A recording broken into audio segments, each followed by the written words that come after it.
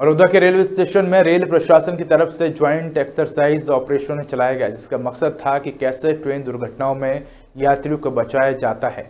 इसी क्रम में मरोदा रेलवे स्टेशन के यार्ड में शुक्रवार को रायपुर से केमवटी की ओर जा रही पैसेंजर ट्रेन की एक बोगी पटरी से उतर गई। दुर्घटना में बोगी में सवार एक दर्जन से अधिक यात्री घायल हो गए। हादसे की गंभीरता देखते हुए जानकारी रेलवे की एक्सीडेंट रिलीफ मेडिकल वैन एवं एनडीआरएफ की टीम को दी गई। महज 20 मिनट में ही घटनास्थल पर राहत टीम पहुँच गई और बचाव कार्य शुरू किया गया। इस दौरान इस बात का ख्याल रखा गया कि कम से कम समय में प्रभावितों को राहत दी जा सके। ऐसे ज्वाइंट एक्सरसाइज के संबंध में रायपुर रेल मंडल के प्रबंधक संजीव कुमार ने विस्तार से बताया।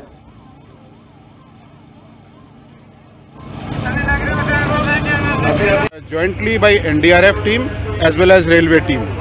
कुछ इसमें आ, सीखने को भी मिलता है। ये सब एक्सरसाइज करने का मत, मतलब ये होता है तात्पर्य ये है कि हमको कुछ नई तकनीक नई चीज़ें सीखने को मिलें जिनको हम अपने सिस्टम्स में इनकॉर्पोरेट कर सकें और आगे इस समय को और कम किया जाए। एक्सीडेंट रिलीफ साइट के ऊपर बहुत सारी इन्फॉर्मेशन जहाँ पब्लिक और पैसेंजर इन्वॉल्व होती है तो हर एक आदमी को अपने घर में अपने दूर दराज जहाँ से वो आए हैं वहाँ पर अपने लव्ड वंस को अपने घर वालों घर बार के लोगों को इन्फॉर्मेशन देना और उनसे इन्फॉर्मेशन लेने की बात भी करनी होती है।